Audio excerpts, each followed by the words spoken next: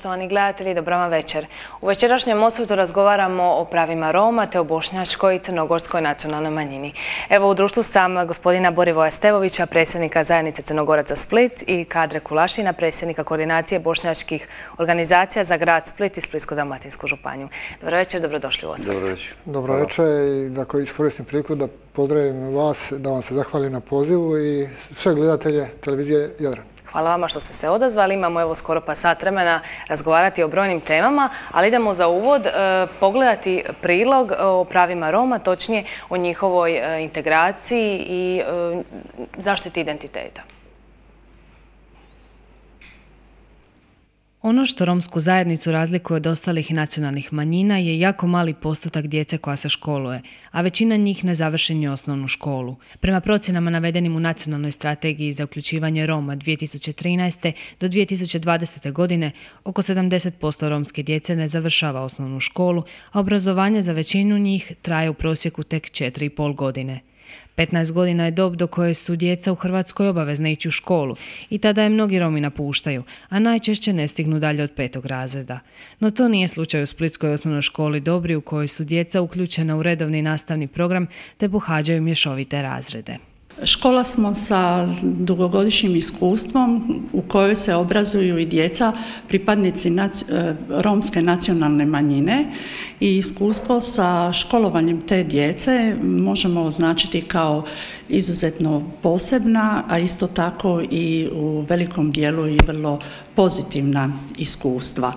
E, oni su integrirani, djeca su integrirana u redovite razrede, odnosno redovite mješovite razrede, pohađaju e, školu sa svim ostalim učenicima, od strane učenika su jako dobro prihvaćena i integrirana su uredno u mješovite razrede. Prvi korak kao odustanku od školovanja su izostanci s nastave, koji su kod romske djece jako učestali. U takvim slučajevima u ovoj školi se upornošću i suradnjom s roditeljima djeca najčešće vraćaju na pravi put. Romi se kao i pripadnici drugih nacionalnih manjina mogu odgajati i obrazovati na materinjem jeziku od predškolske dobi, ako to žele. Danas pripadnici romske nacionalne manjine nisu sustavno uključeni u nijedan model školovanja na svom jeziku, jer to do sada nisu tražili, već su uključeni u redovni odgojni obrazovni sustav Republike Hrvatske na hrvatskom jeziku. Upravo jezik često je jedna od prepreka u obrazovanju i integraciji. Svakako da im je i u odnosu na njihovo nedostatno poznavanje e, hrvatskog jezika neophodna i nužna pomoć za koju se škola u nekoliko, u nekoliko segmenata pobrinula, a to je da je škola od Ministarstva znanosti, obrazovanja i sporta sukladno određenim zakonskim odredbama zatražila i tražila e, pomoć koja im je bila osigurana kroz nekoliko e, školskih e, godina godina. Isto tako u školi funkcionira produženi stručni postupak u koji su isto uključena djeca pripadnici, pripadnici romske nacionalne manjine kojima im se isto na vrlo primjeren i svrhovit način pruža pomoć u učenju. Kao dobro rješenje tom problemu psihologinja Grozdana Matanović vidi u uključivanju romske djece u programe predškolskog odgoja, odnosno u programe pripreme za polazak u školu. E, pa mislim da je to jedan dio koji bi bio izuzetno važan za njihovo što uspješnije i bolje uključivanje u osnovnoškolsko obrazovanje, jer bi tim e, preškolskim uključivanjem oni bili puno pripremniji na e, ovo pohađanje i pripremnu nastavu u prvom razredu. To je jedan dio na kojem mislim da bi izuzetno trebalo e, raditi i da bi trebalo roditelje potaknuti i da zapravo uključe djecu u predškolski program, e, pa makar to bilo samo jednu godinu prije polaska u školu. U osnovnoj školi dobre školuje se jedan mali broj romske djece koja se po završetku osnovnog školovanja upisuje u srednje škole te ih u pravilu završava bez većih problema.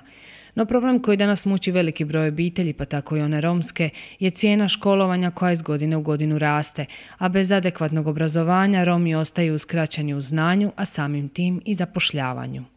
E, pa svi roditelji su suočeni sa ovim egzistencijalnim pitanjima i naravno sa brigom o nabavci i učbenika i ostale potrebne e, školske opreme, tako isto i roditelji e, djece pripadnika romske nacionalne manjine. Međutim, roditelji se ipak brinu da djeci osiguraju sve što im treba. To je sa jednim malim vremenskim odmakom u odnosu na početak nastavne godine, ali evo dogodio se i u gradu Splitu jedan e, pomak, sigurno na njihovu inicijativu, da je u posljednje dvije godine e, grad Split osigurao sredstva i osigurao zapravo besplatne učbenike za e, djecu pripadnike romske nacionalne manjine. Pitanje diskriminacije i predrasuda uvijek se postavlja kad je riječ o romskoj nacionalnoj manjini, no to nikako nije slučaj u osnovnoj školi Dobri, gdje ističu kako su romska djeca izuzetno dobro prihvaćena od strane svojih vršnjaka. Vršnjaci prema njima imaju izuzetno ispravan odnos, a isto tako i e, djeca, pripadnici romske nacionalne manjine imaju prema e, ostaloj djeci u školi e, izuzetan, korektan odnos. E, ne bismo mogli istaknuti ni u kakvom dijelu bilo kakvu razliku u ponašanju ili jednih ili drugih jedni prema drugima. Zaista su izuzetno dobro integrirani, prihvaćeni od strane svojih vršnjaka, e, pomagali pomažu im, e, isto tako i oni pružaju određene pomoći ako za to treba. Stvarno tu imamo izuzetno dobru, ovaj, dobro iskustvo. Lijepo je otkriti da se grad Split može pohvaliti izuzetno pozitivnim primjerom tolerancije i uloženim naporom u integraciju romske djece kako bi se ona što uspješnije školovala i ubirala plodove svoga rada. No osim integracije, zaštita identiteta romske nacionalne manjine je još jedno područje na kojem svi zajedno trebamo više poraditi.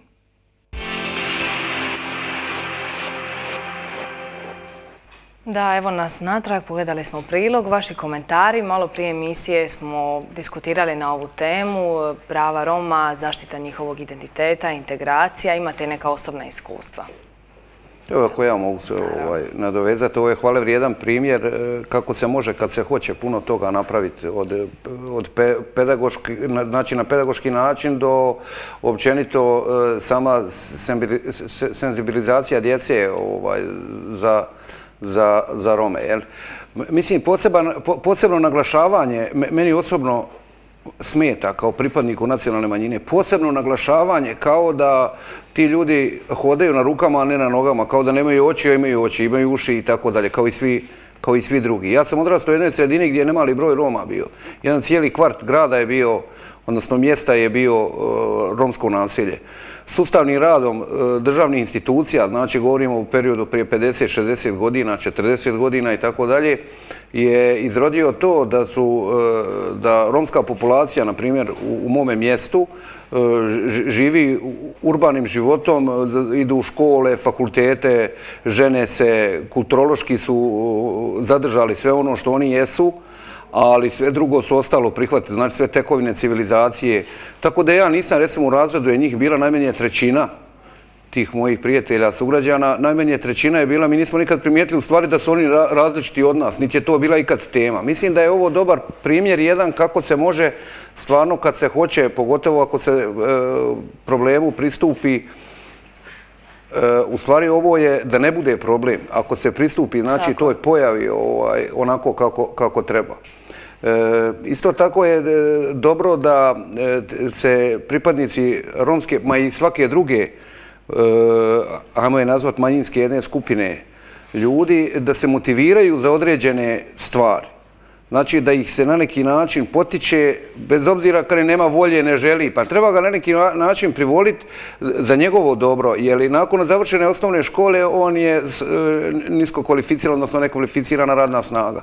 Automatski je sociološki problem on do kraja svog života, jer problem mu je naći posao, uvijek je na marginama društva i tako dalje i tako dalje. Mislim da je za dobro e, pojedinca, a i za dobro cijele države, ovaj, sigurno dobro da se ti ljudi integriraju, odnosno svi drugi se integriraju u društvu. Slažem s vama, vjerujem i gospodin Stevović isto. Apsolutno, da treba da se integriraju i da je ovo pozitivni pokazatelji i idemo prema tome da bude da država bude svih građana Republike. E E pa onda možemo se nadovezati na to i na pravo izjašnjavanja o pripadnosti nacionalnoj manjini koje imaju sve nacionalne manjine u Hrvatskoj. Kakva je vaša praksa? Da li se pripadnici, mislim, rado, glupo je reći, rado izjašnjavaju, ali ono, e, kakav je trenutno trend zadnjih godina? Bio je nedavno i popis birača i možete li to prokomentirati? Ako mogu ja opet prvi, e, mene stvarno nikad na ulici ni nikad zaustavio i neko je pitao šta si ti, koje si ti pripadnik nacionalne manjine, mislim, to je, znači u svakodnevnom životu toliko nevažno. Naravno, ako, ako institucije imaju potrebe da vrše određena istraživanja, odnosno da nas evidentiraju ili imamo potrebe mi da ispoljimo to sve, svakako to možemo slobodno reći. To je druga stvar što mi imamo neke osobne, ajmo i nazvat kočnice, ovaj, koje nam možda nekad e, ne, ne bi željeli da ih otpustimo pa da se na neki način eksponiramo. Ne eksponiramo. Ali e, ja, ja baš sam razgovarao često s prijateljima. Ja sam uvijek znao ko sam i šta sam, ali je to apsolutno nebitno. Skroz nebitno. Bitno je ono kakav sam, da li sam vrijedan, da li nisam vrijedan, da li sam odgovoran, neodgovoran i tako dalje. Ako se bavim svojim poslom da ga radi što, što bolje mogu. A što se tiče, ponavljam opet, institucionalnih potreba, znači da država nešto traži od nas sustav i tako dalje, određene evidencije i to, mi, mi, mi to, ja recimo slobodno se izjašnjavam od uvijek i mislim da ću za uvijek, nemam pojma, e, Nije, e, sad, da li je onome je drugom bilo drago ili nije drago kad je čuo kod sam šta sad, to nije više moj problem, to je tako. Je. Uglavnom, sustavni problem te vrste ne postoji, postoji možda neki osobne e, razine, da li onoga koji je zainteresiran ili onoga koji je s druge strane. Kako vi gledate na to? Pa mislim, pitanje jeste kompleksno. Mislim, jedno je bilo vrijeme prije 90-ih i izjašnjavanje ljudi po nacionalnoj pripadnosti u tim vremenima. Iza 90. pa na ovamo je već neki drugi pristup svakako svak na svoj način i po na osob tome prilazi. Kako se to manifestiralo? Recimo, po Crnogor, crnogorske nacionalne manjine i crnogoraca u Splitu je po popisu 1991. godine bilo negdje oko 1200 i nešto. S tim što ih je bilo vjerovatno i više i u to vrijeme, pa se dosta njih pisalo kao Jugosloveniji izjašnjavalo na taj način. Od 1991. pa na ovamo, po svakom popisu, drastično, drastično mm, broj pripadnika crnogorske nacionalne manjine pada. Recimo, po popisu 2001. godine ih je bilo negdje oko 700 i nešto, da bi to sada na 2011. do godine došlo na 500 i, i nešto pripadnika. Ja mislim da niko niko nikome ne govori kako će se pisati i nema nikakve represije i to nije vidljivo niti na ulici, ono što je rekao kadro, niti u, na poslu, niti u nekim institucijama. Ali... Postoji ali. Nešto se... Molim? Postoji ali. Ali nešto je... Nešto ima. Nešto ima što ljude što ljude na neki način potiče na to da se ne izjašnjavaju. Valjda će im lakše biti kroz život. I u vezi posla, i u vezi masu škole i masu drugih stvari.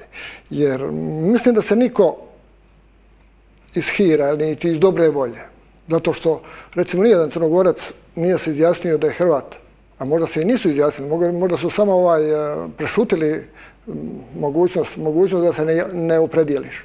I to je jedna od mogućnosti gdje je možda dosta ih ostalo.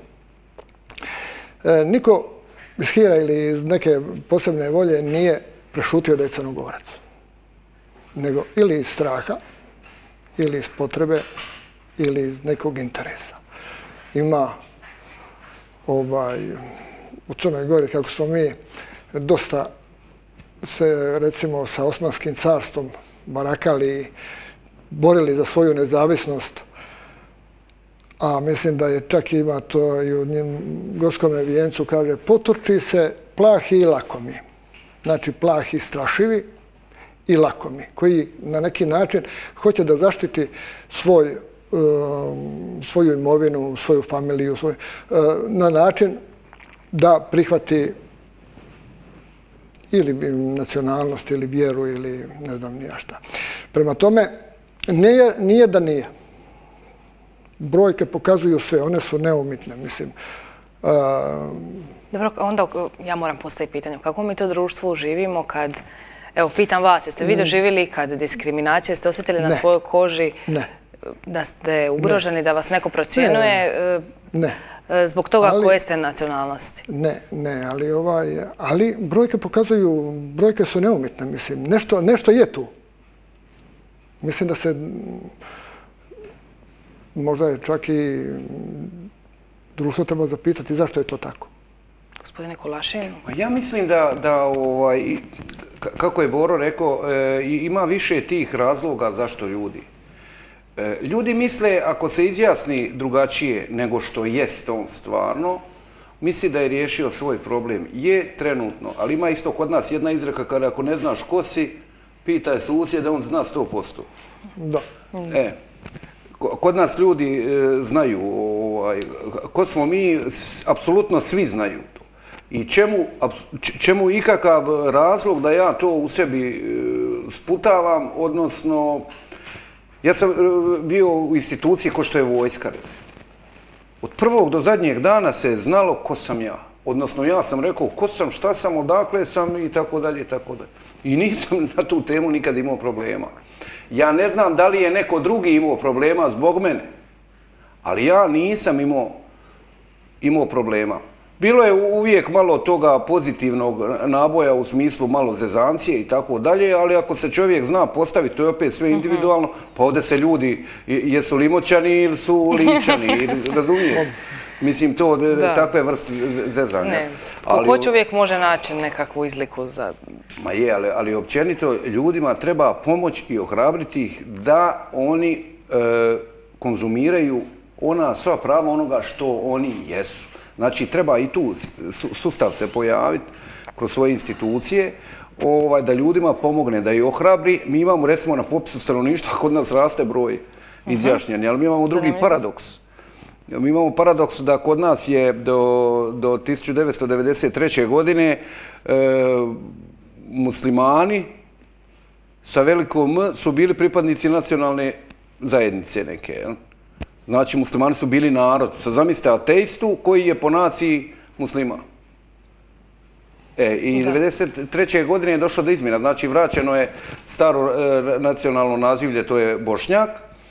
I sad imamo, u popisu stanovništva ljudi se izjašnjavaju i dalje kao muslimani, neki, I oni su pripadnici svih ostalih, znači Sirijaca, Malezijaca, Finaca, Skandinavaca i tako dalje. Ako se izjasnio kao Bošnjak, onda je u pripadnik nacionalne manjine. Ovako je pripadnik etične skupine gdje su svi ostali. O Bože. Je pa to, e, I ljudima treba jednostavno to e, objasniti na način da e, oni, ako nisu izjašnjeni po svojoj nacionalnoj pripadnosti, znači kao, na primjer, kao Bošnjak, on je jednostavno se ne može pozvati na, na, na, nikakav, na nikakvu, kako bi rekao, nikakvo prava posebna, da. jel? Mada su ljudska prava u Hrvatskoj zagarantirana za svakog pojedinca i tako dalje, bez odvira na vjersku rasnu i tako dalje, ovaj pripadnost. E, I ljudima mi pomažemo da oni u stvari e, trebaju ured državne uprave otići, potpisati jednu izjavu da više nisu muslimani, nego da su bošnjaci. A po vjeri su oni šta jesu. Kao što imamo na popisu stanovništva, imamo na popisu stanovništva 9400 i nešto, čini mi se, Hrvata koji su islamske vjeroispovijesti. Šta je problem? Nije problem. Zašto ne može Bošnjak biti pravoslavni vjeroispovijesti? Zašto ne može biti crnogorac? Ima i crnogoraca isto tako islamske vjere, odnosno ima Bošnjaka koji su pravoslavni vjeri. Razumijete? Kod nas se malo se polupali lončići, ne mislim samo kod Bošnjaka, nego općenito e, pripadnost etničkoj skupini se e, poistovjećuje sa vjerskom. Da. A Na primjer, islamska zajednica, kat, kršćanstvo, uopćenito mhm. katolička crkva, pravoslavna crkva, su multinacionalne, multi, kako bi rekao, Naravno. što se tiče svega, znači različitih ljudi, on je pripadnik te vjere i to je to. Kod nas je to malo, malo ovaj, polupali lončići, ali dobro, bit će bolje. Možda će ovakve emisije pa malo ljudima objasniti neke stvari. Je, je, malo ljudima, kaže, malo ljudima treba pomoć, jer oni e, i ne znaju da imaju ma nemaju problem, oni nikakav, nego jednostavno da, da ako mu dijete recimo može se zaposliti negdje, zašto se ne bi zaposlio negdje? Da, to je sigurno, to obavezno ću vas pitati, ali spomenuli ste e, institucije, pravo na sudjelovanje znači u javnom životu. Manjinama je to omogućeno i putem vijeća i predstavnika nacionalnih manjina i na lokalnoj i na županijskoj razini. Jeste zadovoljni kako to funkcionira? Jeste zadovoljni s tim? Pa što se tiče, e, to ja sam E, E, predsjednik udruženja, a ujedno sam i predsjednik Vijeća Crnogorske nacionalne manjine za grad Split. I o dolazkom i izbora ovih vijeća za Županiju i za grad Split se odnos prema vijećima i prema nacionalnim manjinama dosta poboljšao. Poboljšao se i u komunikativnom smislu sa svih razina, a i u recimo to je već kao neka politička, politička organizacija, recimo kao to vijeće već politički djeluje, institucija i komunikacija sada skoro više dolazi preko vijeća i sa gradom i sa županijom nego preko samih udruga. Udruge su kao udruženja za više za provođenje kulturne djelatnosti i svega toga, a što se tiče svih ovih drugih aktivnosti, onda je to je, preko vijeća malo više ide. Što se tiče odnosa sa gradom i sa županijom, mm, ja ne znam kakvo je iskustvo kod drugih, ali mm, naše je, naše mišljenje da je puno bolja, bolji odnos sa gradom nego sa mhm. županijom. Prenda ovaj, u zadnje vrijeme, u zadnje vrijeme je ovaj, radi i same krize koja je došla smanjena su i financijska sredstva i za... I za savjet, ja mislim, za savjete i za sve aktivnosti koje se koje smo i ranije imali, tako da moglo bi biti i bolje, ali za, mislim da je dosta dobro što se tiče toga. Mi e, iz Bošnjačke nacionalne zajednice općenito nemamo nekih problema u svom radu, samo ustrojeni smo i na isti način, to je zakonodavac tako propisao ustavni zakon o pravima nacionalnih manjina i imamo vijeće u gradu i vijeće u županiji. E, suradnja sa gradom je korektna, skoro super iskrena i vidimo da je želja e, gradskih vlasti da pomognu u radu vijeća, odnosno, kako bi rekao, da se pripadnici nacionalne manjina osjećaju kao to je njihov grad, ko što i jest. Tako je. E, što se tiče Županije, mi imamo i dobar odnos e, sa vlastima Županije, jer i događanja koja jesu, vi vežemo i sa tri, četiri stvari, sa udrugom branitelja, sa kulturnim društvom, sa vijećem i sa islamskom zajednicom tako se to prožima na neki mhm. način, ima puno više događanja tokom godine, ovaj, pa smo prinuđeni više kontaktirati, pa je možda ta prinuda urodila i tome da, da, je, suradnja, da je suradnja dobra. Malo prije je Boro sve lijepo spomenuo, s time da bi ja dodao još da je e, grad Split jedan od rijetkih gradova u Republici Hrvatskoj koji ima e, pri svom gradskom vijeću odbor za nacionalne manjine. I to, teko, to je prvi put u ovom sazivu sad, mm A što taj odbor točno radi? Pa imamo odbor za financije, imamo mhm. odbor za sport, imamo odbor i imamo odbor za nacionalne manjine. Ponavljam, to je prvi put da je u, gradsko vijeće Splita konstituiralo takav odbor. Ima još u Rijeci, čini mi se u Zagrebu. to je, to je e, jedna institucija koja povezuje gradsko vijeće ured gradonačelnika sa manjinama. Mislim, i tu ta saradnja na ono da se ne bi obraćali direktno gradonačelniku mhm. ili vijeću, onda sa ovaj, predsjednikom odbora se nađemo pa da dogovorimo i onda lakše ta komunikacija ide.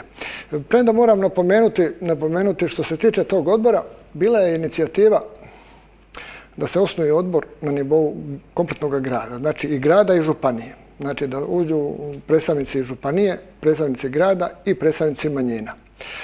Međutim, e, do toga nije došlo jer e, ta komunikacija između grada i županije nikako ne funkcionira. To su, pa skoro moglo bi se reći, dva svijeta. Iz tog razloga, iz tog razloga recimo, dolazi do raznoradnih, recimo, nepotrebnih troškova koji se pojavljuju. Dupliranja, mislite? Dupliranja. Dupliranja prostora. Uh Dupliranja troškova. Recimo, Srpska nacionalna manjina ima na dva mjesta poslovne prostore, jedno za vijeće, jedno za udrugu. Mislim da čak imaju i treće i ovo vijeće županije ima posebno. Što je nepotrebno. Po meni e, trebalo bi donijeti odluku da svaka nacionalna manjina može imati po jedan prostor i nek se u njemu nalazi, ali dati adekvatan prostor. Recimo, Crnogorska mhm. manjina e, malo kuburi sa prostorom, imamo ga već jedno 5-6 godina, ali ovaj, e, je taj prostor mali i nije dovoljno adekvatan za naše potrebe. I da sa većim prostorom bi čak i neke aktivnosti mogli i sam rad udruženja poboljšati. Međutim, e, iz nedostatka prostora nismo ga još dobili, ali smo na listi čekanja. E, tako da ovaj, htio sam napomenuti u ovome, ta nekoordinacija između županije i grada je možda stvara neke probleme i u, Ona stvara u, u mnogo područja probleme. U samim manjinama, recimo, uh, manjine se razvajaju. Makedonci su dobili, imali su prostor na, doli na prokurativama, dobili su prostor u ovaj, Tolstojevoj, jedni su ostali doli, drugi su preuzeli ovaj mhm. prostor. Zašto to? A grad uh, je dodijelio jedan i drugi prostor i nije preuzeo korake, recimo da taj prostor jedan uzme sebe, a na dosta je atraktivnoj lokaciji. Znači ima dobre volje, ali evo neke stvari se može... Ali, evo... ali u svakom slučaju, da ne bude nesporazno, mm prije pet godina, prije sedam godina, a neću spominjati prije deset godina je stanje bilo puno, puno lošije, Govorim što se tiče svega, što se tiče mhm. organizacije, što se tiče raspolaganja sa sredstvima, što se tiče pomoći koja nam se nudi, što se tiče savjete, što se tiče druge infrastrukture koja nam je na raspolaganju, stanje je puno, puno, puno bolje, nemjerljivo bolje nego što je bilo prije deset godina. Sad neću ulaziti je li svima tako. Ja govorim za bošnjačku nacionalnu manjinu i sigurno je stanje, stanje puno bolje. Ja bih se samo ovaj ispravio.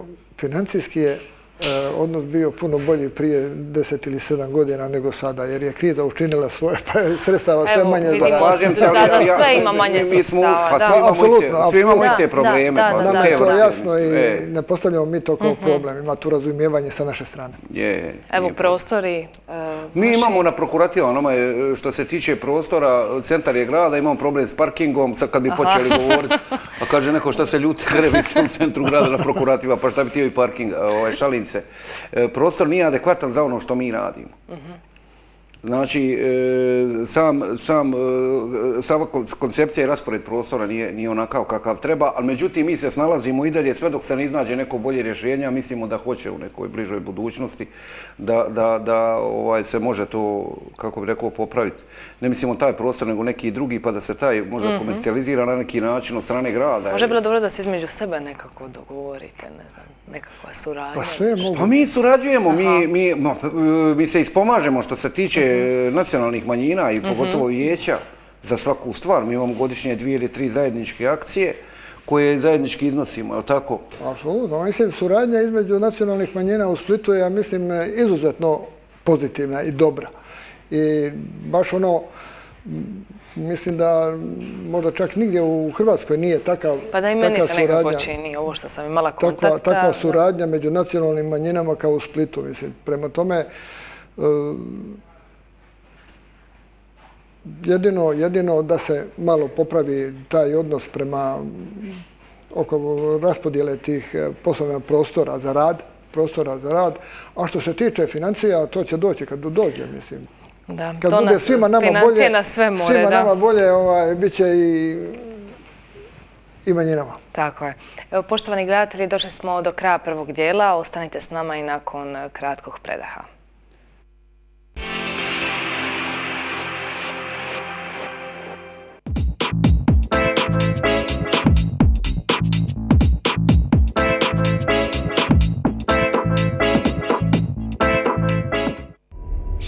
Trena mogu umrijeti.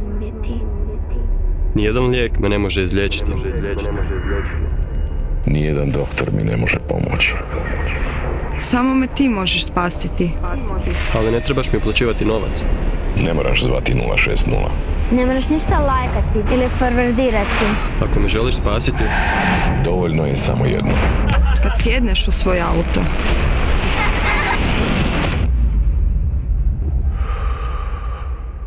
Molim te, nemoj piti.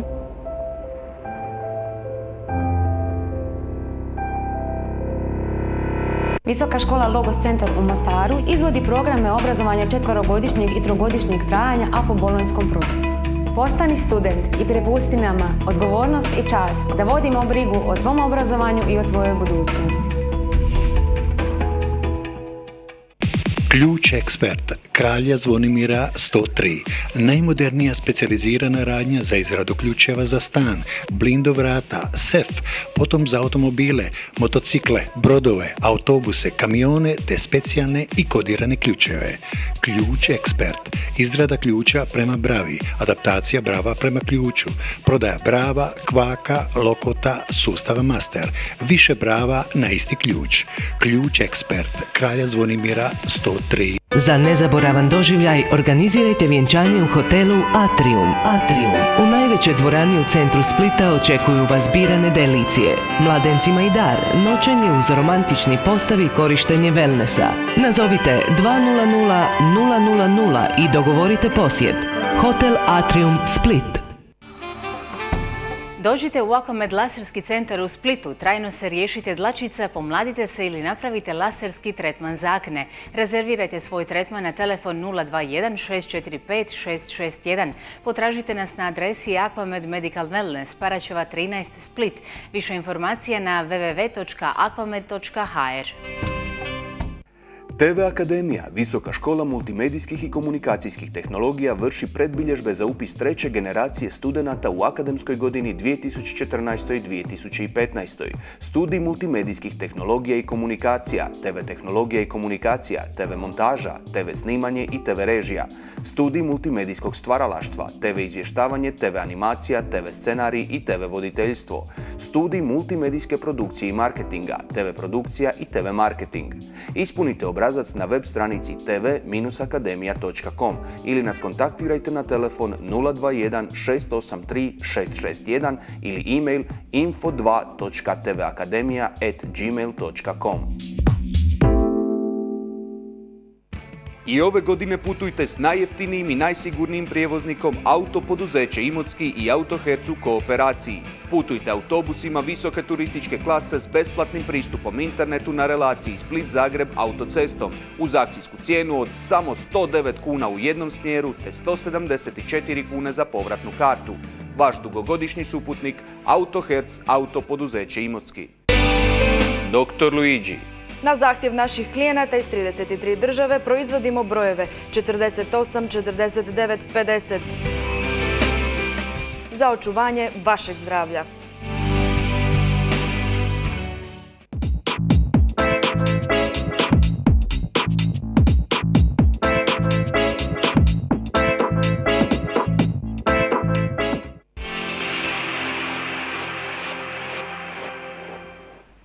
Dobro večer, evo nas natrag u osvrtu i dalje razgovaramo o bošnjačkoj i crnogorskoj nacionalnoj manjini. Rome smo nekako u početku emisije obuhvatili.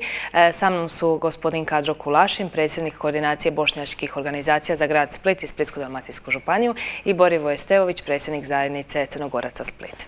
Evo, već smo rekli dosta toga, a kao što ste vi, gospodine Kulašin, spomenuli, ta prednost pri zapošljavanju. To je jedno bitno pitanje. E, naime, manjine imaju imaju prednost pri zapošljavanju u nekakve državne institucije i slično, ili u lokalnu, ne znam, e, županijsku, znači, ili... Organe lokalne Tako je, tako je. E, imaju pravo se pozvati na to da su manjine, ali vidimo da se često ne pozivaju. Možete li to prokomentirati? U čemu je tu problem? E, opet je paradoks u pitanju. E, ljudi misle da ako navedu i pozovu se e, na članak Ustavnog zakona koji definira ovaj pravo na prvenstvo, odnosno na pozitivnu diskriminaciju kod zapošljavanja, ovaj, oni misle da će im to biti e, pripad, neki pripadnici, odnosno veliki broj, misle da će to biti otežavajuća okolnost, u stvari im je to, to plus govorimo o zakonskim okvirima kako je. Uglavnom, članak Kare otprilike ovako, imaju točno propisane službe šta se može u pravosudnim tijelima i tako dalje i tako dalje.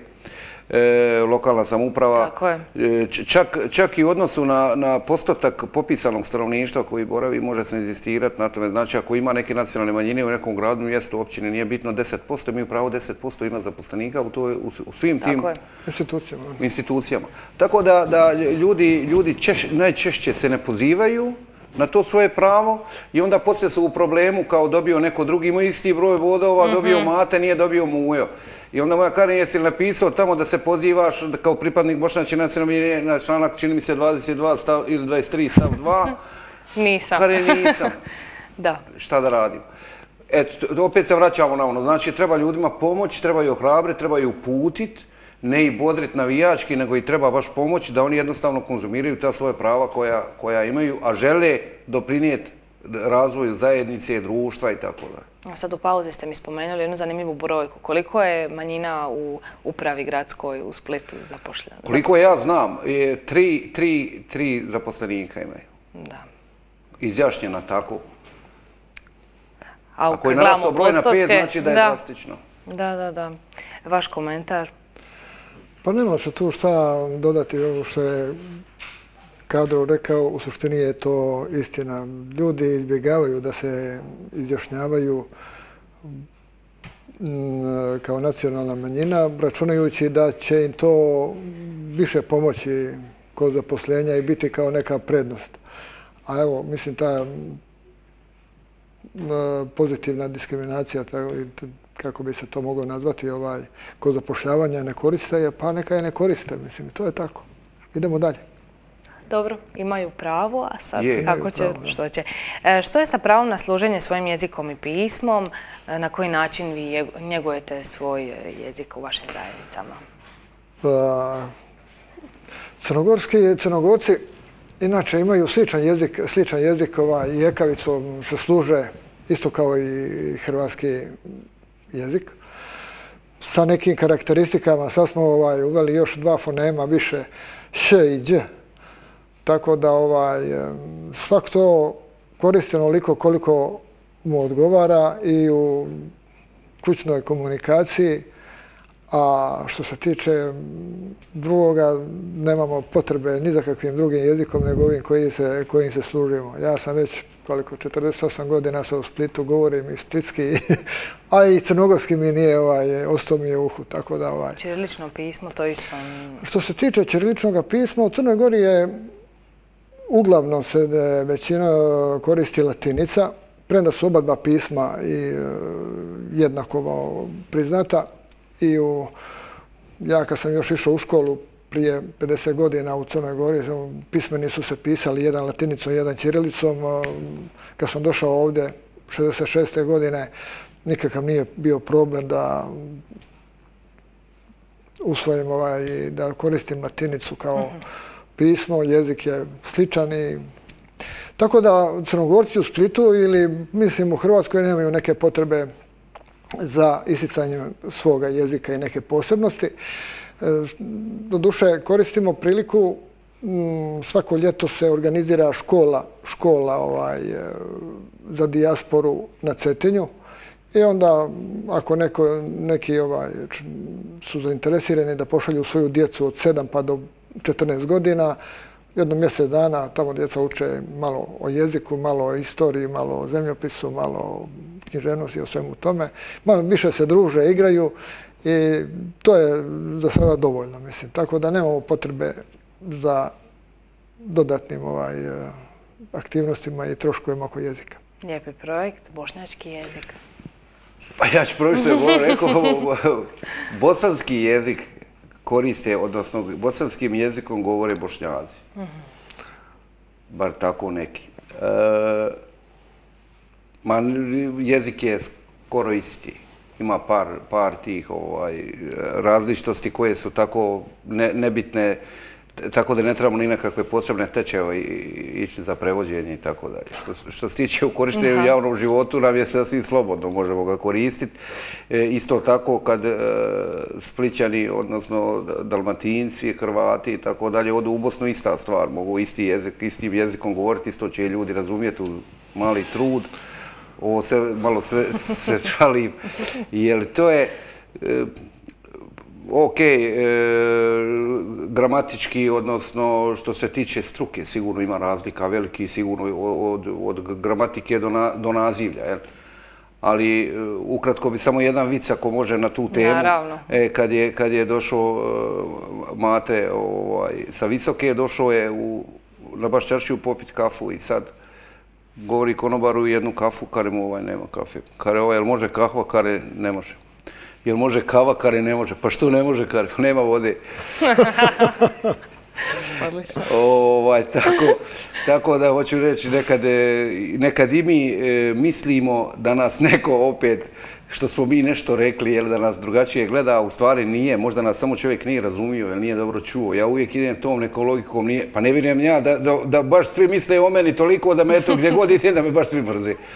Znaš, treba ići malo mekšim tim putem, mm -hmm. možda i iz iskustva, možda i razlika i temperamenta i tako, ali u svakom slučaju treba izbjegavati e, tu konfrontaciju, pogotovo kad je u pitanju jezik, svi smo tu malo osjetljivi. Ja, ja nisam nigdje doživio e, tako urlanje na plaži ko kad sam ja rekao da idem u vodu. To je bilo kod da sam Istina. ja opsovo, ne znam ti šta. Je, je, to je strašno. O, e, ali, to, je, to je bilo strašno. E, I ja to svima pričam. Da, da, Ne kaže se voda, nego more. A to kažu i ovi iz Zagreba, pa onda? Ne, ne, ne, ma, ja prijavljaš, nikad nisam rekao da sam ušao u vodu. Ja ulazim u more, samo tako. E, tako da ovaj, nema tu neki posebni, odnosno nema zapreke, nikakve zakonodavac je propisao sve da možemo koristiti mm -hmm. u javnom, u službenom, možemo čak tražiti da nam se naši osobni dokumenti mm -hmm. koje, koje, koje nam treba osobna karta i tako dalje, da na, na, na jeziku koji to mi... To italijani koriste, ako se ne vara. Koji smijete, nema nikakvih problema, mm -hmm. šta ima vezi. Mm -hmm. Isto meni ne smijeta niko, ovaj, samo što mi pisalo, ono, ne mi pisalo osobna karta, nego osobna karta, mislim. Tako da, da nema, nema tu nikakvih problema na tu temu. Mm -hmm. Moguće da neke, neke manjine, tipa Italijani, Česi, ne znam, nija Slovaci i tako dalje, ovi koji govore malo, malo mm -hmm. jeli, drugačiji jezik nego mi, e, moguće da oni imaju tih nekih možda malo, neću reći problema, nego možda nerazumijevanja, ali ovaj, sigurno to ljudi rješavaju. Mm -hmm. Možemo onda ići na iduću temu, to je pravo na čitovanje svoje vjere, osnivanje vjerskih zajednica. Kakva je situacija e, po tom pitanju? Što se tiče vjere, svaki je vjernik u duši, mislim, ovaj, Crnogorska crkva je, Crna Gora jeste mala, ali imamo dvije crkve, imamo dvije akademije e, naučne, imamo dosta tih duplih, duplih institucija. E, Crnogorska crkva je bila nekada autokefalna dok 1920. godine kada je ukinuo regent Aleksandar. I ovaj, od tada, od tada do prije jedno 15 godina, 15 godina kad se na novo formirala i to registrirala se u MUP-u kao Crnogorska pravoslavna crkva, uh, još uvijek je, još uvijek je dominantna Srpska pravoslavna crkva u Crnoj Gori i drži manje više sve te vjerske objekte. Kako je to u Splitu uređeno? U Splitu je uređeno savršeno, nemamo uopće potrebe za tim vjerskim obredima. obredima. Crnogorci inače nisu nešto posebno ovaj, pobožan narod. Oh. Nisu, mislim, ovaj, više, recimo, ovo, mogu reći sebe osobno, ja više to doživljavam, doživljavam kao neku tradiciju, recimo za Božić, za Uskrs eh, se pripremi, upali se svijeća, mm, skuva se jaje za Uskrs, eh, ali odlasi, odlasi u crkvu i držanje propovjedi, to mi nikada nisam ni kao dijete nismo išli tamo u crkvu kad sam bio živio u Crnoj Gori do 15. godine. Tako da ni drugi pripadnici koji žive ovdje Crnogorske niko nije postavio pitanje mhm. te vjere, crkve i svega toga. Zanimljivo. Tako da s te strane stvarno nemamo nikakvih problema. Zanimljivo. Što se tiče islamske zajednice u Republici Hrvatskoj, e, islamska zajednica je kao državna religija, odnosno islam kao vjera, je kao državna vjera priznata još 1916. E, godine. Sabor je na prijedlog Ivana Ribara e, donio jednoglasnu odluku da priznaje E, islamsku zajednicu znači na teritoriju e, Hrvatske, odnosno tadašnje Austro-Ugarske i Austrije, Mađarske i tako dalje. E, znači, sad će sto godina da je verificirano, odnosno da je ozakonjena religija kao, kao religija. Što se tiče organizacije same e, i slobode upražnjavanja, e, odnosno vjerskih sloboda, e, baš nema nikakvih problema na tu temu. I mada sad u ovo zadnje vrijeme je dosta turbulentno za, za muslimane, jer svašta se podvlači pod islamom i svašta se izjašnjava, odnosno svatko se izjašnjava da je musliman. Tako da, mislim, govorim sa za ove koji, koji su zločesti ljudi, ovaj, koji rade šta ne valja po svijetu, e, mislimo da to krnji ugled i sigurno remeti odnose unutar islamske zajednice, ali što se tiče islamske zajednice u Republici Hrvatskoj, sigurno eh, je eh, zakonodavac eh, propisao kao nigdje uopće nema zabilježeno da, da, da takva prava muslimani kao pripadnici islamske vjere ovaj, da imaju pravo. Ono, baš da je tako definirano. Ponavljam, 100 godina, sad će 100 godina od, da je državna religija, znači ravnopravna svim drugim vjerama, u Republici Hrvatskoj imamo pravo na dušebrižništu u vojsci, policiji, zatvorima, apsolutno gdje god ima potrebe da se ustroji određena ta vjerska općina, odnosno mežlis, on se ustrojava. E, ljudi koji dolaze tu e, raditi sa, sa vjernicima, to su imami, e, koji su školovani ljudi, koji su sa ovog područja većinom ili čisto da bi razumijeli i ljude i tako dalje. Još treba napomenuti da pripadnika Islama, recimo u Splitu, ima iz Pakistana koji žive tu, mhm. ima iz Sirije, ima iz sa Kosova, ima iz Albanije, ima iz Makedonije, ima ne znam nija odakle sve. Tako da, e, znači, nisu samo pripadnici islamske vjere bošnjaci mhm. koji se tako osjećaju i tako izjašnjavaju, nego je stvarno multinacionalna E, vjerska zajednica koja sigurno doprinosi e, i povezivanju ljudi i čak i neki, ima i Turaka, to sam zaboravio napomenuti, e, i doprinosi ovaj, tim dobrim odnosom između Hrvatske i ti država. Ljudi se ti većinom bavili nekim biznisom, uglavnom ovaj, su solidno situirani, tako da sigurno mhm. to pomaže u nekom i širenju dobrih odnosa i vibracija. O, a što se tiče pripadnika vjere, da li imaju sva prava ili nemaju sva prava, imaju prava, konzumiraju ta prava. Evo recimo na zadnjem ovaj, prijemu koji je glavni imam organizirao ovdje za Kurban Bajram, bio predsjednik gradskog vijeća, prije toga je bio na Bajram namazu, ujutru, znači na jutarnjoj molitvi je bio gradonačelnik, došao je župan bio, e, dođu naši prijatelji, predstavnici braniteljskih mhm. udruga, dođu e, ravnatelji škola i tako dalje. Hoću reći da smo to predstavnici drugih nacionalnih mhm. manjina i drugih vjerskih zajednica. Imate organizirani vjeronauk za djecu?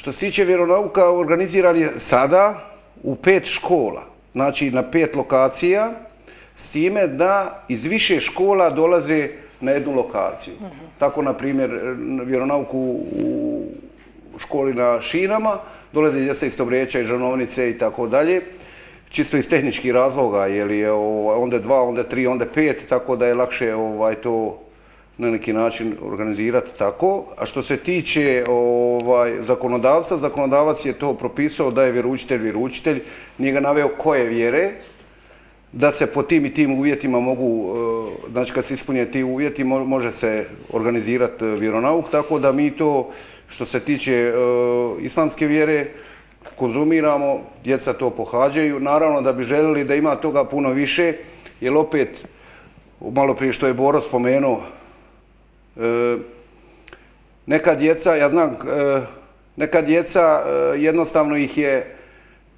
neću reći da im je neugodno im je biti različit, oni ne žele biti različit. Jer on misle da će ih onaj drugi zezat, pa onda rađe ne ide nigdje nego da ide, uh -huh. na, ide, nego da ide na svoj vjeronauk. Katoli, ka, djeca katolici idu na vjeronauk katolički, a recimo ono masovno, a što se tiče pripadnika ovih drugih vjerskih zajednica, koliko ja znam, možda griješim sve, koliko ja znam, nisu toliko zastupljena, ali opet svojom voljom. Znači i, i na tom području sigurno ima se šta radi, treba i dalje ohrabrivati mm -hmm. ljude, treba i poticati, da jedno, ne kažem tjerat, nego im treba reći da, i, i pomoći im da jednostavno djeca njihovo u praksi nemaju nikakvih, nikakvih problema, da mogu to konzumirati baš u punom kapacitetu kako treba. Mm -hmm.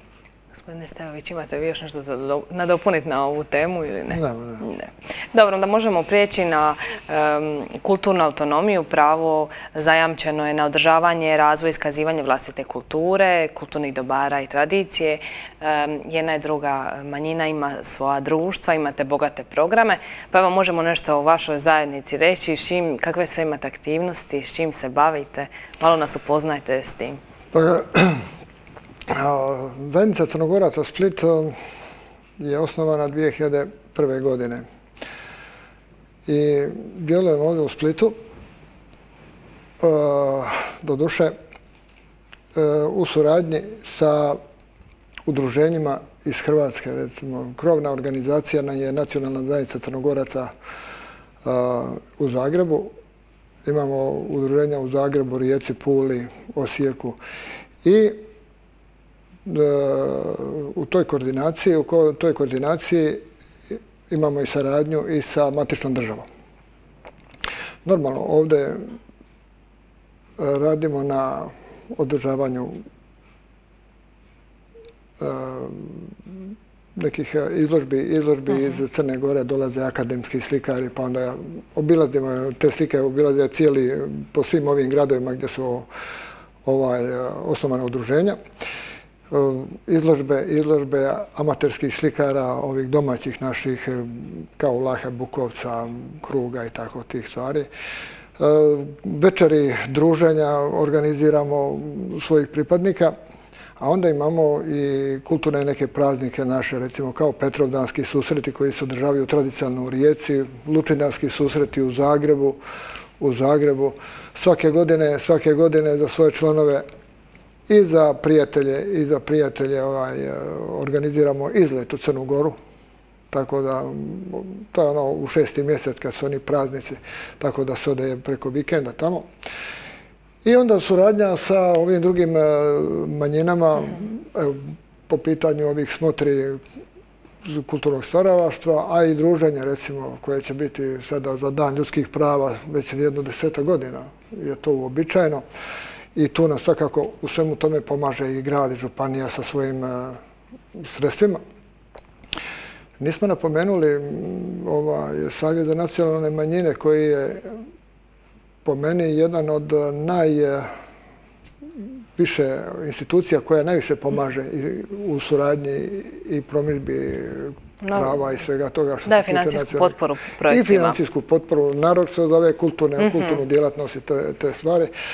Tako da ovaj, po cijelu godinu se ponešto radi i kako je udruženju, udruženju nema baš puno članova koji su aktivni. Oni dođu kad su neke pa, obilježavanja, proslave, manifestacije i sve to. I onda to, mm, kompletna ta organizacija, sve te stvari padne na par osoba. A svi mi na neki način i radimo i živimo od eh, nekoga rada, plus ovo ne, kao ne, nešto volonterski. Uh mhm. -huh. I traži dosta a, odricanja i vremena, a i sredstava, recimo, cijeli ovaj eh, pomoć i grada i županije i tako da trebamo i svojih nekim donacijama i tim stvarima se e, ovaj, služiti. Tako da ovaj, radi se po cijelu godinu po nešto, Onda je, malo sam prije spomenuo i ova, ovu školu uh mhm. -huh. koju organizira se u Crnoj Gori. Doduše, mm, Crna Gora, kako je za vrijeme Jugo, Jugoslavije, je vrlo malo vodila računa o svojoj dijaspori.